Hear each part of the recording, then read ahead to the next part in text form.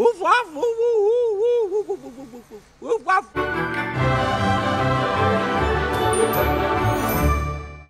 Waar veel mensen al het thuiswerken natuurlijk als vreselijk hebben ervaren, was dat voor onze huisdieren natuurlijk fantastisch. Die hadden de hele dag de baasjes om zich heen. Maar wat zeggen we eigenlijk allemaal tegen onze huisdieren? hey, hoe gaat het ermee? Goedemorgen. Uh, heb je lekker geslapen? Op die manier. En wat zegt hij dan terug? Uh, helemaal niks. Wat is uw band met die kat? Uh, innig. Zij is mijn huisgenoot. Zij heet Majesteit. Dat ze zomers niet, maar 's winters wel in bed kruipen en dan meer ruimte innemen dan mijn echtgenote en ik. Of ik me begrepen voel door de konijn? Ja, eigenlijk wel.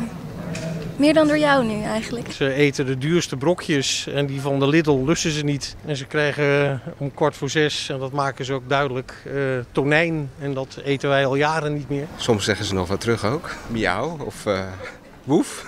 Of Iedereen praat Ja. tegen zijn hond, toch? Goedemorgen en zo.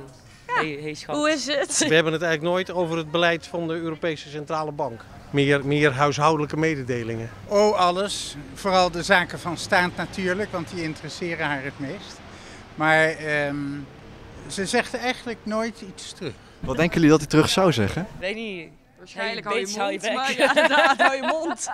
Laat met rust. Zei niet zo. Wat zegt u in de camera tegen uw kat? Eh, dat ik over een uur of drie thuis ben. Dus nog even wachten en dan staat het tonijn klaar. Ja, in principe als ze er niet bij is, zou ik zeggen het kan wel eens een toontje lager. Maar dat doe ik niet waar ze bij is. Ted, eet je maar lekker vol en hebben een lekker hapje met de kerst. Majesteit, ik dien u graag. Ik ga nu wat zeggen wat je tegen je huisdier maar beter niet kan zeggen. Tot volgende week.